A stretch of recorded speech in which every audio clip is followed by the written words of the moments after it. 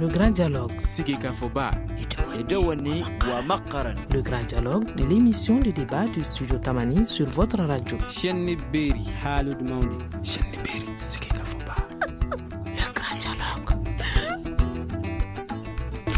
Mesdames et messieurs, bonsoir. Aujourd'hui, dans le Forum de la presse, nous allons parler du processus de paix avec la tenue de la 20e session du CSA, également de l'opérationnalisation de la force G5 Sahel. Nous parlerons également de la libération de l'otage Amadou Ndjoum ainsi que des autres otages. Également, nous, si le temps nous le permet, nous allons parler un peu de la journée internationale de la démocratie. Nos invités, tous journalistes, Alexis Calambri, éditorialiste, Serge Daniel, journaliste et écrivain, et Mamadou Fofana de indépendant. Je suis Mohamedou Touré. Le grand dialogue. Alors, chers invités, comme je l'ai dit aujourd'hui, dans la première partie, nous allons commencer par la, le processus de paix avec la tenue de la 20e session du CSA, comité de suivi de l'accord. Aujourd'hui, il y a le chef de l'aménagement qui demande que le processus soit accéléré. Monsieur Alexis Calambri, que pensez-vous de toute cette situation? Oui, je pense que la nouveauté, c'est l'introduction euh, du Centre Carter euh, comme observateur, euh, premièrement. Et deuxièmement, ça, ça, vient un moment où la, la, CMA change un peu de gouvernance. Non, je crois qu'on pourrait peut-être euh, profiter d'une certaine lassitude qui se ressent de part et d'autre, peut-être que ça pourrait effectivement aider la, cause de la paix. Mm. Toutefois, mais il y a le problème de financement du CSA également qui se pose. Non, ça c'est récurrent, mais en, tout état de cause, je pense que c'est même ce qui va faire que ça va s'accélérer parce que oui, il y a des problèmes de financement, mais c'est pas que propre au, CSA, c'est le problème de financement, c'est au niveau des, des troupes, euh, de la CMA, c'est à d'autres niveaux. Donc, euh, c'est des raisons qui feront qu'on ira vite à la paix, je trouve. Mm. Monsieur Fofana, 20 réunions du comité de suivi de l'accord, deux ans pour la mise en œuvre de l'accord. Qu'est-ce qui a évolué depuis?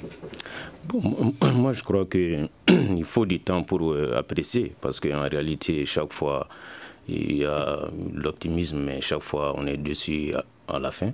Mais comme a dit Alexis, je crois que le problème de financement, parce que ce n'est pas un manque de financement même du comité, ce n'est pas ça souvent. Je crois que les partenaires, compte tenu du rythme de caméléon euh, de, de, de, l'accord, euh, qui vit l'accord, mm. donc les partenaires souvent ferment le robinet, parce que vous savez que l'argent, je ne sais pas comment ils appellent ça, peut-être c'est des indemnités qu'on donne aux, membres de la CSA, c'est ça varie entre 2 et 4 millions. Donc je crois que c'est les partenaires qui financent ça. Maintenant, quand ça va au rythme de caméléon, donc les partenaires aussi, je crois que euh, il y a un peu... Bon, c'est tout à fait normal. Je crois que il y a l'espoir, mais vraiment, il faut un espoir très mesuré. Quoi. Mm. Monsieur Chardin mon, mon, sentiment, c'est que le processus est quand même poussif. Hein. Le, processus est poussif parce que vous avez 20 réunions, la 20e réunion, et on en est à se demander comment financer le CSA. Le CSA n'est pas une armée. Il y a combien de personnes dans le CSA Il y a quelques dizaines de personnes dans le CSA. Si on ne peut pas financer le CSA, de mon point de vue, ça veut dire que sur le terrain, on ne peut pas financer les opérations. Alors la situation, le, le, processus pour moi est poussif, ça je le dis. Mais ensuite, il faut dire qu'il y a... Déjà, qui doit financer le CSA Mais le, au début, c'était l'Algérie qui avait dit, euh, nous finançons le CSA.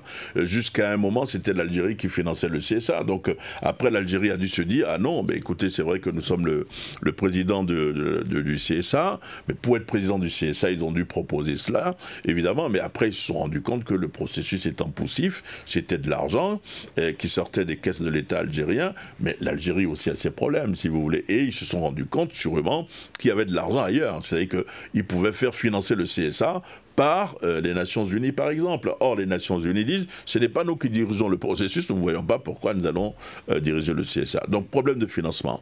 Vous avez vu dans le dernier communiqué, on nous annonce à chaque communiqué du CSA une bonne nouvelle. La bonne nouvelle, c'est que avant la fin de la semaine, en principe, sur Kidal, on devait avoir un retour progressif de l'État. En fait, c'est visiblement le drapeau national qui va flotter. Il faut arrêter de croire que quand le drapeau national va flotter à Kidal ou quand l'armée malienne va aller à Kidal, que tous les problèmes du Nord sont réglés. Je pense qu'il y a un retard important dans le processus et que toutes les parties sont responsables.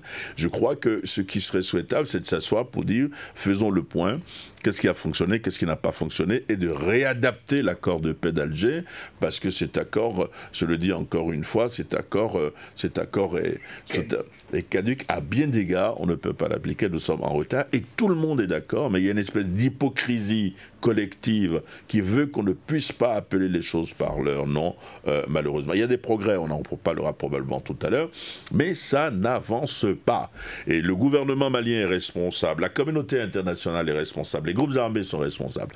C'est seulement à la veille de la, de, la, la 20e réunion du CSA qu'on a annoncé que des sanctions seront désormais prises contre les groupes armés à la demande du gouvernement malien, si vous voulez. Donc, euh, euh, voilà.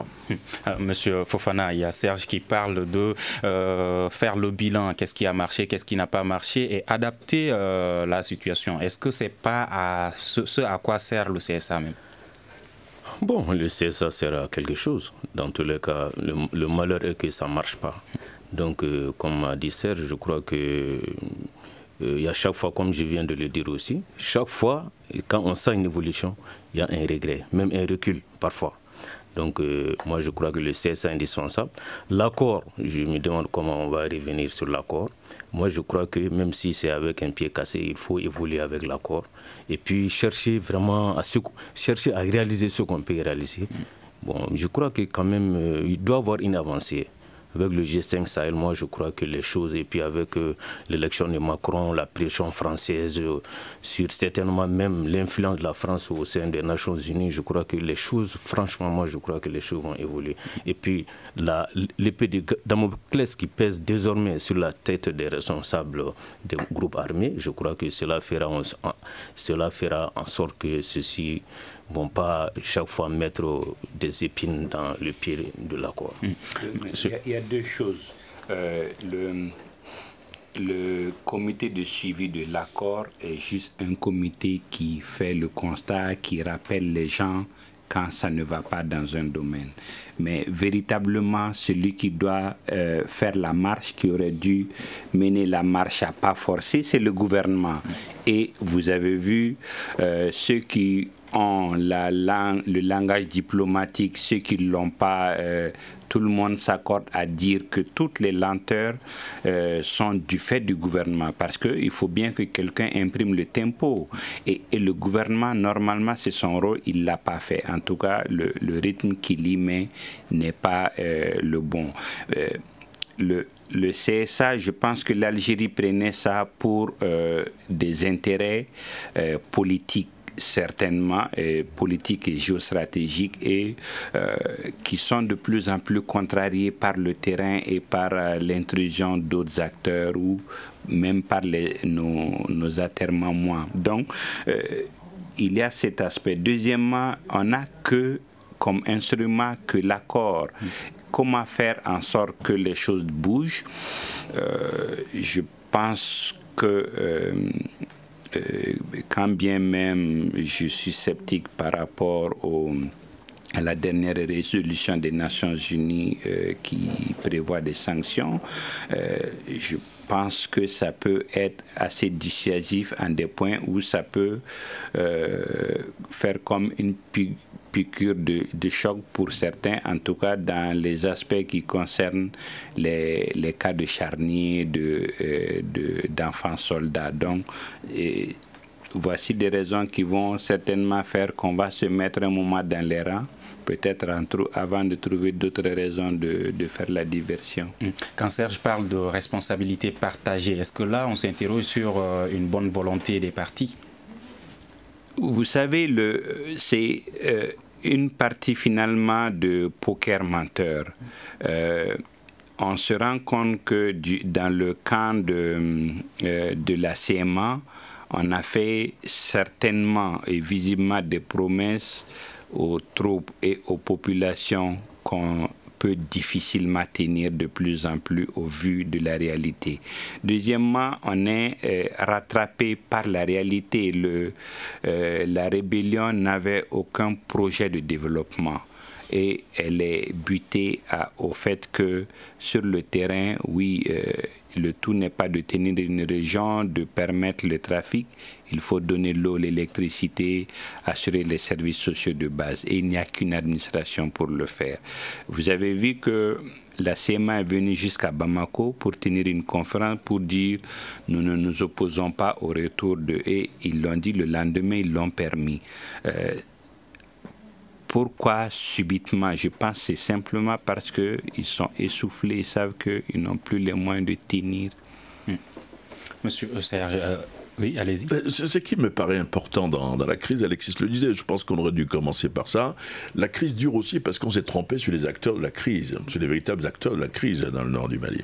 Au début, vous voyez le clairon que tout le monde euh, utilisait, la, la, mode, c'était de dire le MNLA, donc les Touaregs laïcs, sont en train de lutter pour leur indépendance. Ce qui était totalement faux. À l'époque, je me souviens d'ailleurs, nous n'étions pas trois journalistes, a dit attention, ce ne sont pas les combattants du MNLA qu'on avait en face du gouvernement, mais c'était plutôt le MNLA, ce qu'on appelait le MNLA, et des groupes islamistes, des groupes djihadistes qui combattaient contre l'État malien. Vous avez vu à Guélog, vous avez vu ce qui s'est passé à Ménaka, les djihadistes étaient devant. Ils avaient une politique de conquête du terrain, alors que les, le MNLA avait une, politique de communication. Donc ce qui s'est passé après l'intervention Serval, c'est que on a eu tort, la communauté internationale a eu tort, c'était le diagnostic était mauvais, parce qu'on n'a pas eu le médicament qu'il fallait après Serval. C'est-à-dire qu'après Serval, il y a une résolution des Nations Unies qui a été votée euh, pour amener la paix dans le Nord, et on a, on a caricaturé la question par, euh, voilà, au Nord, il y a des gens, au Sud, il y a une armée, au milieu, il faut faire une interposition. Non, il devait avoir une force euh, rapide, d'intervention rapide, pour lutter contre le terrorisme tout de suite, parce qu'on avait en face à 90% les forces militaires qui ont combattu le Mali, c'était des islamistes. Donc on s'est trompé. Pendant longtemps, on n'a pas voulu reconnaître qu'on s'est trompé. Et vous voyez, au fur et à mesure, on a rendu vigoureux le mandat de l'ONU dans le nord du Mali, mais jusqu'à présent, on n'est pas rentré dans cette phase active. Euh, est-ce que vous voyez Il y a un contingent sénégalais euh, qui sont des troupes d'élite qui sont actuellement à, à au centre. Vous allez voir, à mon avis, les choses vont changer là-bas. Mais il y a eu ce grand euh, désordre qu'on n'a pas pu contrôler dans le nord du Mali. Alors, Aujourd'hui, ce qu'il faut faire, je le répète, il faut s'asseoir et dire nous nous sommes trompés, à tel endroit nous nous sommes trompés, voilà ce qu'il faut faire, voilà ce qu'il faut faire.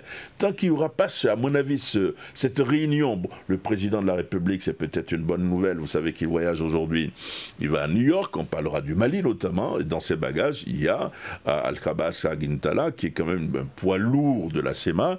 Peut-être que les choses vont enfin changer, mais jusque-là, il y a quand même des dispositions à prendre. Alexis parlait d'essoufflement c'est vrai. J'en aurais terminé. J'aime bien rappeler que dans l'histoire de l'humanité, on n'a jamais eu la réunification d'un pays par le dialogue. Ça n'a jamais existé. Il y a eu deux cas dans l'histoire de l'humanité. Une réunification par la force, c'est le cas du Vietnam, et par l'effondrement. Vous avez le mur de Berlin qui s'est effondré à un moment. Mais dans le nord du Mali, pour moi, on est très loin de l'effondrement, et on est très loin de voir quelqu'un remporter la victoire sur le terrain. À mon avis, on va s'en sortir par la gouvernance vous avez parlé de responsabilité. Est-ce qu'aujourd'hui, on peut parler d'une bonne volonté des partis pour euh, poursuivre ce, processus Les partis sont essoufflés. Le président de la République, en intervenant récemment euh, à l'occasion de l'an 4 de son accession au pouvoir, il a dit Mon grand regret, c'est de n'avoir pas euh, appliqué, euh, n'avoir pas pu appliquer totalement l'accord, d'avoir pris un grand retard dans l'application de l'accord de paix. Le gouvernement est, appliqué parce que le gouvernement aussi a voulu euh, aller à Kidal sans faire le, jeu démocratiquement. Ça a été par exemple l'histoire du forum sur l'éducation nationale qu'on devait faire à Kidal parce qu'à l'époque, le projet du ministère de la Solidarité, c'était de dire bon, écoutez, ils, demandent de l'argent pour qu'on arrive, on leur donne 300 millions, ce qui a été fait, mais nous, nous allons là-bas avec l'armée et l'armée ne reculerait plus. Enfin, ils ne sont pas des enfants, hein, les gens. Les rebelles, c'est la même chose. À chaque fois qu'il y a un processus de paix, à chaque fois qu'on est à deux doigts d'arriver au but, baf, ça s'enflamme, évidemment. Donc les torts sont partagés. Mon point de vue, c'est que les torts sont partagés. La communauté internationale a sa part aussi de responsabilité dans l'affaire. Nous n'avons toujours pas les hélicoptères dont on nous parle en action contre le terrorisme. Vous vous souvenez, il y a quelques mois, à Tombouctou, à Kidal, il y a eu un grand papier dans tous les journaux qui disait que bon, désormais, on a un ballon qui est un ballon qui doit observer les troupes qui vont violer l'accord. Le ballon est en panne depuis, donc soyons quand même sérieux, voyons les choses en face et dire et, disons que tel a tort, tel a tort. Nous avons tous tort et repartons sur de nouvelles bases. Fofana, lors du sommet G5 Sahel, il y a le président Ibrahim Boubacar Keïta qui avait promis des sanctions. On voit le régime de sanctions qui a été adopté par le Conseil de sécurité de l'ONU. Est-ce que ces processus, ces mesures vont faire avancer le processus de paix? Bon, moi, vous savez, moi, tout ce que j'ai toujours dit, c'est que c'est une question de preuve de force. En réalité, les sanctions, moi, je, je vois mal. Serge même disait que c'est le Mali qui doit proposer. Si le Mali doit proposer euh, des sanctions à prendre contre certains, certains groupes armés, certains responsables, je pense qu'il n'y aura jamais de sanctions. parmi les mesures recommandées par euh, le Conseil de sécurité de l'ONU, je pense qu'il y a euh, gelé les avoirs et empêché... Non, je sais. Il y a même le gouvernement du Mali qui peut être sous l'emprise de sanctions. Mm. Donc, ce n'est pas seulement le groupe armé. Donc, moi, je crois que non, les sanctions, c'est dissuasif, certainement. Mais la solution militaire la solution définitive. Moi, je crois que, comme Serge vient de le rappeler, franchement, moi, je, je pense qu'il oh, y a eu trop de diplomatie, il y a eu trop de, trop de rappels de l'histoire, il y a trop de... Il faut maintenant... Notre espoir, dernier espoir, moi, je crois, c'est le G5 Sahel, franchement. Parce qu'en réalité, tant qu'on n'aura pas, l'armée malienne ne sera pas solide pour conquérir notre territoire, vraiment, je crois que les... Il y a eu trop de conciliables, il y a eu trop de réunions ça ne va rien rapporter. La communauté internationale, le Mali ne compte même pas, parce que je, je crois qu'on dit qu'il y a eu trop d'hésitation. Ça dit souvent, je pense que le Mali n'est pas dans la tête de ces gens-là. Mais quand vous parlez de réponse militaire, comment est-ce qu'elle doit s'organiser cette réponse Non, mais il faut que le G5 Sahel, si on a l'équipement, si on a les hélicos, on a tout ce dont on a besoin. Moi, je crois que vraiment cette rébellion, d'ici la fin de l'année 2018, on en aura fini, hmm. totalement. Hmm. Monsieur euh, Alexis, euh, Monsieur Fofana parle de rébellion et de réponse militaire. Est-ce qu'avec euh, cette réponse militaire, on pourra résoudre cette question? Mais non, on ne peut pas laisser une action militaire. Il faut, en même temps qu'on négocie, il faut occuper le terrain parce que dans tous les cas, le, la, capacité ou les, les positions sur le terrain euh, les forces de chacun déterminent son poids dans la négociation. Donc, si vous ne représentez rien militairement, vous n'aurez aucun poids, euh, aucun poids pendant les, négociations. Oui, euh, en même temps qu'on va négocier, il faut qu'on montre nos muscles. Et oui, c'est vrai qu'il y a beaucoup de scepticisme de la part des, des spécialistes par rapport au G5 Sahel, mais euh, c'est un instrument qu'il faut expérimenter. Hmm. Et ça a l'avantage que euh, dans la lutte contre le, djihadisme au, centre et, dans les pays qui, qui, nous entourent, il y a eu beaucoup de, de suspicions. Euh, les gens ne se font pas confiance, ne ne partagent pas l'information, ne s'entraident pas, ce qui était à la faveur du djihadisme. Mais à partir du moment où on va travailler ensemble, déjà ça c'est un grand pas, partage d'informations et mutualisation des moyens. Mais euh, au-delà de tout cela, on est à une phase assez critique où, euh, bon, à un tournant, je dirais même, parce qu'il faut aujourd'hui qu'on franchisse un nouveau palier si on veut rester crédible. Hmm. Alors, concernant le retour de l'administration à Kidal, il y a le gouverneur qui dit que les rencontres se multiplient et que le retour devrait se, se faire en plusieurs étapes. Mais concrètement, est-ce que ce retour est possible maintenant? Non, le, le retour est, est, possible et euh, avec disons, euh, avec ce qu'il a déjà fait et au vu de la situation, c'est pas la panacée. C'est pas juste que l'administration, euh, que les instruments de l'État soient sur le terrain. Il faut vraiment qu'on recommence, euh, disons, comme diraient les, informaticiens, il faut réformater. vous savez, si vous partez au nord aujourd'hui, il y a une économie de la crise, une économie de la guerre, donc euh, disons une économie souterraine qui s'est installée vous voyez des richesses sans histoire du jour au lendemain. Les gens sont tombés dans des facilités. à Gao, à Kidal aujourd'hui, le carburant, c'est dans les 300-350 francs. parce que voilà, les instruments ne sont pas réellement là. Donc, oui, il est important aujourd'hui que l'administration retourne, mais pas que ça soit juste de façade. C'est-à-dire, il ne s'agit pas d'avoir juste, euh, disons, des, de la figuration, mais vraiment que l'État reprenne tous ces zones-là à main que, euh, disons, la force publique s'exerce dans sa plénitude. Le, retour de, si je peux me permettre, si vous la parole, merci. Le retour de l'administration de, l'État à Kidal, oui, c'est possible, mais jusque-là, on a, on a quand même constaté qu'on a mis euh, la charrue avant les bœufs. Parce qu'à chaque fois qu'on parle du retour de l'administration à Kidal, les gens pensent que c'est l'armée qui doit rentrer à Kidal. Mais l'armée rentre à Kidal, elle fait quoi? Si elle est coupée de sa base. Vous savez, le seul produit qui vient du sud pour Kidal, c'est quoi? C'est le charbon, monsieur. Tout le reste vient de l'Algérie. Pâte alimentaire, essence. Vous parlez de l'essence tout à l'heure. L'essence de trafic vient de l'Algérie. Donc c'est un pays. Vous savez, pour, pour, se renseigner, pour s'informer de ce qui se passe au Mali, les Kidalois, ils prennent la télévision euh, algérienne. Mais donc l'État doit aussi faire un effort. Voilà. Cela dit, je suis persuadé que l'État va retourner à, Kidal. J'ai rencontré longuement le gouverneur de Kidal à son retour. Monsieur Ishrash, il dit des choses très simples. Il dit, mais vous savez, euh, il m'a dit par exemple, Monsieur Daniel, quand la crise a commencé, il y avait des enfants qui avaient 13 ans, 14 ans on leur a martelé dans leur tête Azawad, yes, Malino, Azawad, yes, Malino. C'est devenu presque quasiment un réflexe pavlovien. Euh, aujourd'hui, ils sont quasiment majeurs. Ils se sentent pas maliens, ceux-là.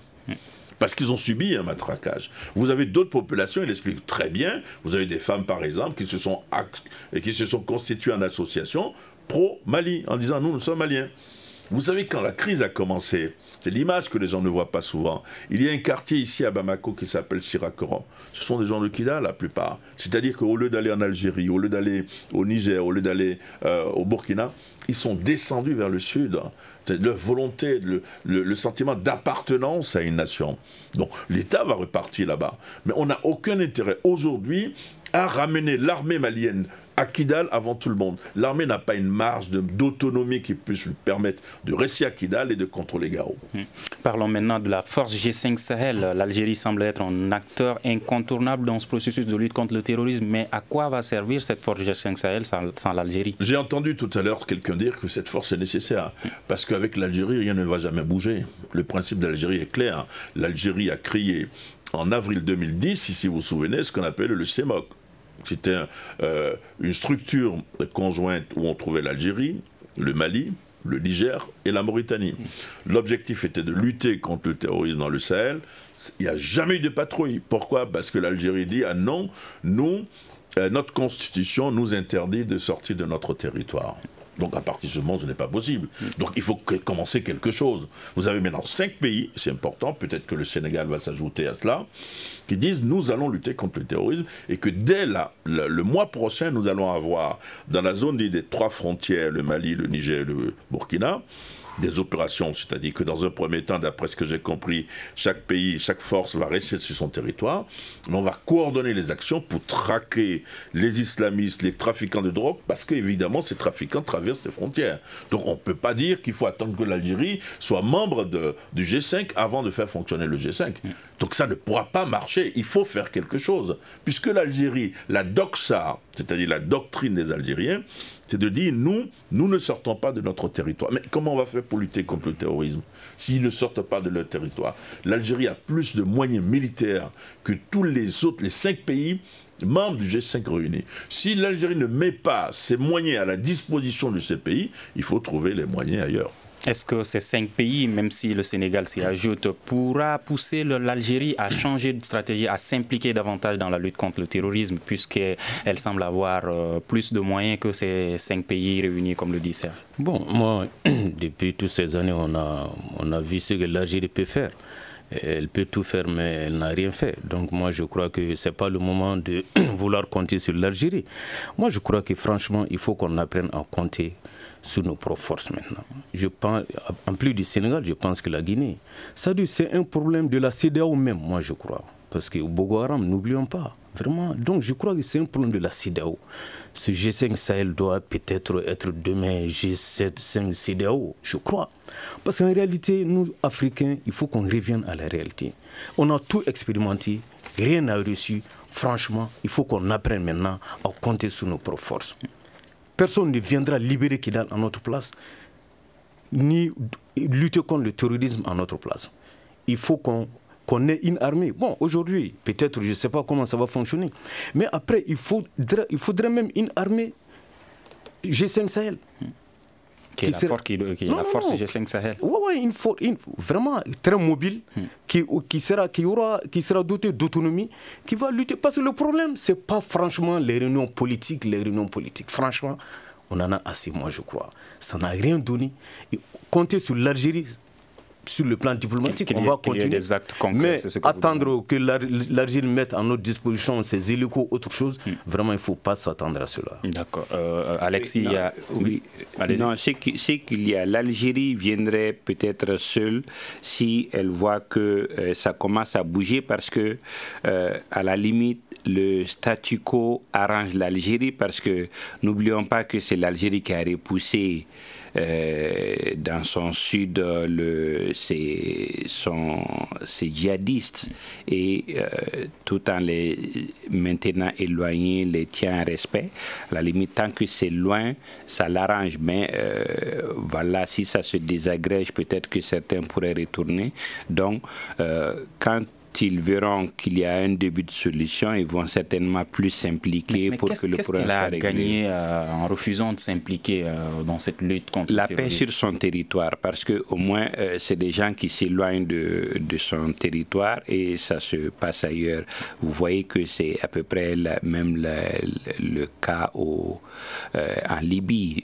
tout le monde dit il faut la paix en Libye, mais dès que ça commence, chacun craint que ces djihadistes ne retournent à la maison, que ça ne se propage chez nous. Oui, euh, l'Algérie est incontournable dans notre sous-région malheureusement et elle est euh, aujourd'hui dans un calcul politique. Donc si on est capable, comme disait Fofana, de faire quelque chose par nous-mêmes, ne serait-ce que par réalisme politique et, instinct de euh, d'autodéfense, l'Algérie va s'impliquer. Il y a Idriss Déby qui demande également à l'Occident d'assumer sa responsabilité dans la déstabilisation euh, du Sahel. C'est compréhensible parce que euh, vous savez, tout le monde ne peut pas être ignorant. les, les rebelles, les djihadistes se ravitaillent en carburant, se déplacent, téléphonent, euh, sont armés, il faut bien que quelqu'un les fournisse, il faut bien qu'ils aient de l'argent, que ça transite quelque part. Serge est spécialisé sur ces questions. Euh, je ne sais pas s'il a, s'il a convoyé des, des fonds, mais bon. Pourquoi l'Occident va financer ces, groupes armés et après euh, se mobiliser pour... Je crois qu'il y a eu plusieurs erreurs. Je crois qu'il y a eu plusieurs erreurs que nous n'avons pas su exploiter dans le, dans le Sahel. La première erreur, ça a été avec Sarkozy il est évident aujourd'hui que Sarkozy, en attaquant euh, Kadhafi, était persuadé que Kadhafi n'était pas en train de massacrer ses populations. Ce n'est pas vrai. C'est de la géopolitique, ce sont des intérêts. Mais l'autre chose, c'est qu'il a quand même favorisé le retour d'hommes armés dans nos pays. Ça, c'est évident, disons les choses. Parce que probablement, quand vous discutez avec les premiers responsables qu'on appelait du MNLA, qui était le cache-sexe des islamistes, euh, notamment un intellectuel, un ancien ministre basé à, Mauritanie, il dit ceci, il dit oui, la France nous avait promis l'indépendance. Ça c'est clair. Donc c'est la géopolitique. Le Mali est trop grand, donc on divise le Mali en deux. Ceux qui sont en haut vont, s'il y a du pétrole, ça va nous intéresser, mais en termes de géopolitique, ils vont travailler avec nous. Et c'est vrai que le président Déby a tout à fait raison de dire que l'Occident a sa part de responsabilité de ce qui se passe dans le nord du Mali. À Gelok, je vais vous dire, vous vous souvenez de cette localité où des militaires maliens ont été tués selon des rites djihadistes. Le MNLA, à l'époque, avait revendiqué l'attaque. Vous n'étiez pas aux affaires, vous étiez très jeune encore, vous ne vous occupez pas, vous n'étiez pas journaliste, je me souviens. mais je vous assure, mais vous vous rendez compte, le MNLA a revendiqué l'attaque de, de, Moi, j'ai le communiqué Et voilà qu'aujourd'hui, mais si c'était dans n'importe quel pays, il y aurait une justice. Ah oui. Il y aurait l'ouverture d'une enquête, si vous voulez. Donc il y a deux poids, deux mesures. C'est pour ça que je dis que le président Déby a parfaitement raison de dire ce qu'il dit. Et lui peut le dire, d'autres présidents non, parce qu'encore une fois, en réalité, c'est que si vous voulez parler aujourd'hui, Jules César l'avait déjà dit, un pays sans armée n'est pas un pays. Mais il euh, y a la rencontre des, des, ministres de la Défense du G5 Oui. Sahel et aujourd'hui ils sont en train de réfléchir Oui. sur euh, la gestion des ressources, des près de 71 milliards qui sont déjà disponibles. Comment cela peut, peut- co- comment est-ce qu'on peut comprendre cela, cette situation? Après tout ce temps passé, c'est aujourd'hui que les ministres de la Défense se réunissent pour parler de la gestion de ces ressources. Parce que le G5, il n'y a pas longtemps. Il y a, pas, il y a quelques années seulement le G5. Et ça va vite. Hier, c'était la réunion des chefs d'état-major. Avant-hier, la réunion des experts. Aujourd'hui, la réunion euh, des ministres de la Défense. Et le président. Et lundi, à New York, il y aura une réunion sur le G5. Ensuite, ce sera Berlin. Donc moi, je trouve plutôt qu'en ce qui concerne le G5, les choses avancent quand même. Le seul problème, ce sera un problème de moyens. Si la communauté internationale ne peut pas mettre à la disposition des pays du G5 les moyens, il y aura des problèmes. Il y a une délégation de l'Union européenne qui est là. Peut-être que ça va faire bouger les choses. L'Union européenne a donné déjà 50 millions, vous vous souvenez. 50 millions. Chaque pays s'est engagé à donner 10 millions. Mais ça ne va pas suffire. Vous avez 5000 hommes, parce que le G5, c'est 5000 hommes qui doivent bouger, parfois ensemble avec des fuseaux, etc. Donc il faut les moyens, il faut que cette communauté internationale puisse donner les moyens au G5. Pourquoi euh, la mobilisation des fonds euh, suscite tant de réactions? Est-ce que pourquoi on rencontre tant de difficultés à mobiliser Mais, les fonds qu'il faut? Mais non, il y a, il y a deux choses à ce niveau-là. D'abord, euh, il y a euh, des questions difficiles au niveau de l'armée qui sont euh, les questions de corruption. Je pense que euh, certains le savent euh, et en parlent difficilement.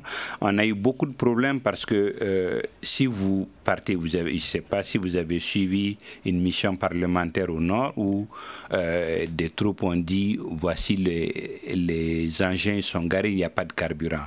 Et le chef du camp n'a pas pu nier avoir reçu la dotation, mais il n'a pas mis il n'y a pas de sanction. Vous avez des choses comme ça. Très souvent, quand on vous dit on a déployé 10 hommes, peut-être que c'est 5, mais on a décaissé pour, pour 10 et ça force les données, ça force le, euh, la capacité de réaction et ainsi de suite. Et les partenaires savent tout ça.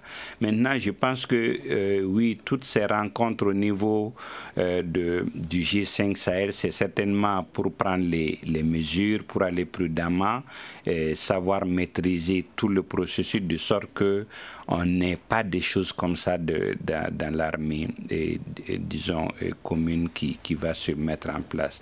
Et l'autre aspect, euh, ça va être un peu, euh, oui, quand ça va démarrer, comment ça va se passer. Je crois qu'il y a beaucoup de questions qu'il faut régler en amont. On ne peut même pas parler de lenteur parce que par rapport à plein de choses, euh, ça, ça va vraiment vite. Monsieur Fofana, quand on écoute M. Calambri, donc ça veut dire que la lutte contre le terrorisme passe également par la bonne gouvernance et la lutte contre la corruption.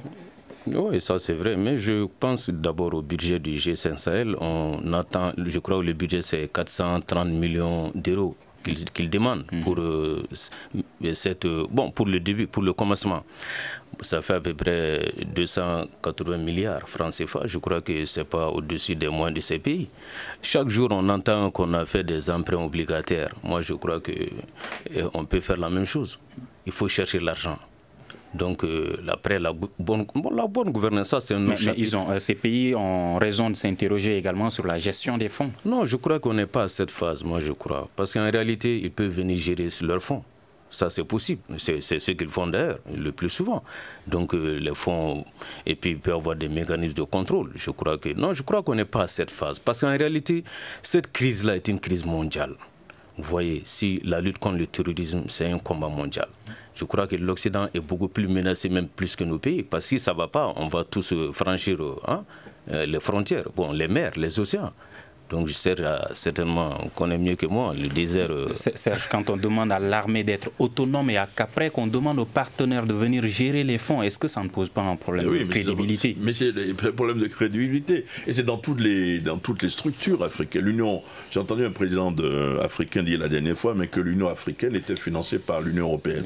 Si vous êtes financé par l'Union européenne, évidemment, ils ont leur mot à dire euh, dans ce que vous faites. Est-ce que, ouais, c'est une question de crédibilité, mais c'est également une question de choix. Vous avez sur le pays, le continent africain aujourd'hui, quand même des pays qui prennent les décisions qu'il faut prendre. Si vous prenez un pays comme le Rwanda, qui fait partie des dix pays les mieux gérés du monde, alors que ce pays a une dizaine, une quinzaine, une vingtaine d'années, connaissait ce qu'on appelait un génocide, ça veut dire que cette volonté politique n'existe pas chez la plupart de nos, nos chefs d'État. Bon, la dernière fois, le président Ibeka il a pris son avion parce qu'en fait, Déby avait boudé la réunion qui devait se tenir à New York. Parce qu'il ne croyait pas. Il a parfaitement raison, je trouve. Il avait, Déby avait au Tchad à l'époque, vous vous souvenez, une mission des Nations Unies. Du jour au lendemain, il lui a dit partez, n'ai pas besoin de. Ils sont partis et la mission est partie et il a réglé lui-même ses problèmes. Donc c'est une question de volonté, mais une question de responsabilité aussi.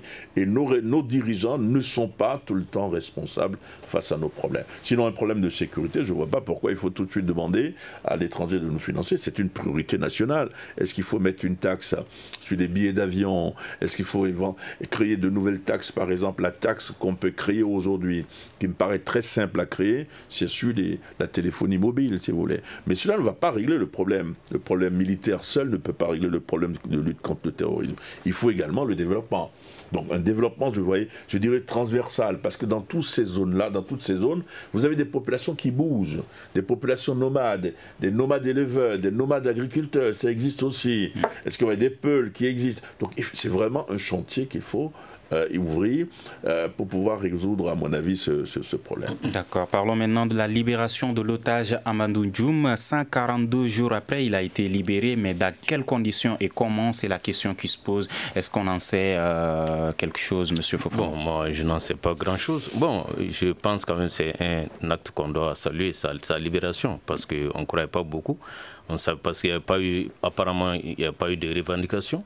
Donc euh, je crois que c'est comme si c'était quelqu'un qui s'était perdu dans l'océan. Donc euh, Dieu merci, il est de retour.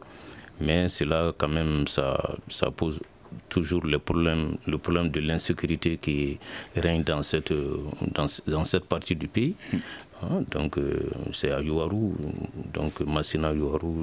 je crois que c'est un truc qu'on salue, mais moi je n'ai pas d'autres informations. Mais, monsieur euh, oui, il y, avait une revendication quand même. Euh, c'est là, on se réjouit, oui, de, sa libération, mais toute la question, c'est de savoir contre quoi, puisque ceux qui l'avaient enlevé avaient demandé qu'on élargisse des prisonniers en contrepartie. Est-ce que cela a été fait? Euh, ça, c'est la question. Mais en tout état de cause, oui, euh, on salue cette libération.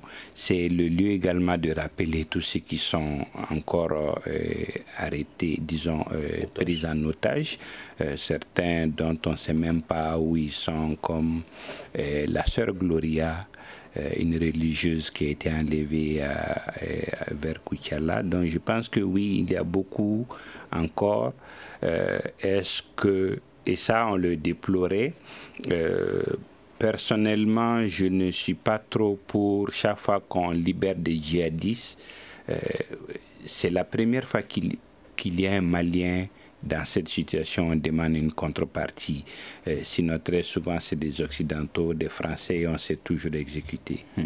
Euh, c'est une drôle de libération. Pourquoi une drôle de libération? D'abord parce que si vous voyez le rapt en tant que tel, les premières photos que nous avons vues du, du rapt, alors que généralement lorsque les ravisseurs posent avec leur otage, l'otage est terrorisé, mais lui, il souriait, mm. comme s'il n'avait pas peur. Mm. Ou je ne sais pas s'il était inconscient ou si euh, il était dans un degré, euh, je ne sais pas quoi. Mais ça m'a paru assez bizarre. Sa libération aussi m'a paru bizarre. Effectivement, il y a une revendication, une demande de libération des prisonniers. Parce que par les, les, ravisseurs. Ils ont demandé à l'État de libérer des prisonniers. Le symbole, c'est qu'ils travaillaient pour l'INPS l'UNP, c'est une structure de l'État. Est-ce qu'il y a eu libération de prisonniers? Je ne sais pas. Mais je sais que l'otage libéré est à Bamako euh, actuellement, ce qui est une bonne chose. Il n'a pas été reçu par le président de la République, ou en tout cas on n'a pas vu par un officiel, alors que si c'était un étranger qui était libéré dans le nord du Mali, c'est le président de la République qui le reçoit, c'est la presse qui est là en direct, comme si la vie d'un occidental était plus important que la vie d'un Malien. Vous voyez en fait euh, le, schéma, les schémas dans lesquels nous sommes euh, dans, nos pays. Et ça, c'est observé de l'étranger. Donc on n'a pas beaucoup de respect pour nous. Vous avez un Malien qui est libéré, vous le recevez comme vous recevez un Canadien, comme vous recevez quelqu'un d'autre, si vous voulez. Donc je sais qu'il va parler cet après-midi ou demain, et on saura davantage ce qui s'est passé. Moi, je suis tenté à dire que ce sont des apprentis djihadistes qui l'ont pris parce que la posture euh, qu'il avait le jour où ils ont diffusé la première preuve de vie, mais je croyais que pour moi c'était un jeu d'enfant. L'autre question qui se pose, c'est que comment un agent de l'INPS qui avait euh, euh, des millions sur lui, pourquoi ne pas prendre l'argent et puis qu'est-ce que ça allait leur servir C'est pour ça, c'est pour ça que je dis que le, ils ont fait une, ils ont fait des demandes, notamment la libération de prisonniers. Je ne peux pas dire si ces prisonniers ont été libérés ou pas. il faut, il faut écouter lui, euh, celui qui a été libéré, pour savoir davantage ce qui s'est passé. Je, n'ai pas d'informations précises sur ça, je dois dire. Fofana, pourquoi l'État malien ne, s'est pas mobilisé face à la, libération de cet agent de l'INPS Bon, franchement, c'est une question qu'on doit se poser. Mais il y a eu très peu de médiatisation aussi, il faut se le dire. Je crois que certainement, je ne sais pas cela est dû à quoi, mais franchement, certains avaient même oublié qu'on avait un otage dans cette zone. Bon, donc je ne sais pas pourquoi l'État, c'est pas peut-être les services de renseignement se sont mobilisés. Comme a dit Serge, je crois qu'il faut attendre que l'ex-otage s'exprime pour nous donner davantage d'informations. Euh, Alexis? Non, mais oui, le, euh, avant lui, on a vu des convois attaqués où on enlève l'argent, où on, enlève les véhicules, mais c'était vraiment... Euh, une des rares fois où c'est un Malien comprend qu'on veut échanger contre d'autres otages. Je pense que c'est un risque qu'ils ont pris. Si il a été libéré, c'est en partie grâce à la famille qui n'a pas voulu que ça tombe dans, dans l'oubli, qui a fait du bruit. le comité de soutien. Voilà. Le comité de soutien a vraiment travaillé. C'est vraiment grâce à lui qu'on ne l'a pas oublié. Sinon, on se préoccupait plus des, des étrangers que euh, de notre compatriote. Est-ce que par rapport aux autres otages, l'État malien s'intéresse euh, à, cette, à ces situations aussi? Bon, c'est n'est pas une question sur euh, laquelle on communique beaucoup. C'est il est évident hein, euh, que euh, des tractations se mènent, que des médiations se font, mais ça ne se fait pas au grand jour et il faut euh, souvent des mois, des années après les libérations pour qu'on découvre très souvent tout le contour. Et d'ailleurs, quand on découvre tout le contour, c'est parce que quelque part dans le partage, quelqu'un a été grugé. Sinon, très souvent, c'est comme disait Serge, c'est une industrie maintenant. Hum. Euh, Serge, il y a Fofana qui pense qu'au-delà de l'État malien, les médias maliens aussi s'intéressent peu aux otages euh, maliens, euh, ils s'intéressent beaucoup plus aux, otages étrangers qu'aux otages maliens.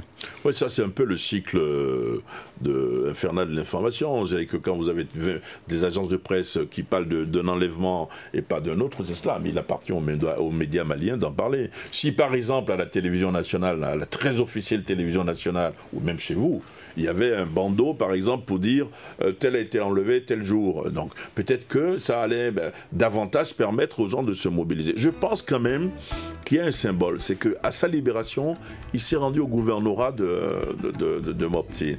Comme si peut-être l'État avait quand même euh, négocié en douce sa libération. Mais franchement, je ne sais pas. D'accord. Et c'est ce qui met fin à ce forum de la presse. Nos invités, Alexis Calambri, éditorialiste, Serge Daniel, journaliste écrivain, et Mamadou Fofana du journal indépendant, débat réalisé par Fatoumata Togola à la mise en onde de Nouhum Djire, régie vidéo assurée par Mamadou Ouattara. Je suis Mouhamadou Touré et à demain pour le prochain numéro. Le grand dialogue. Le grand dialogue de l'émission de débat du studio Tamani sur votre radio.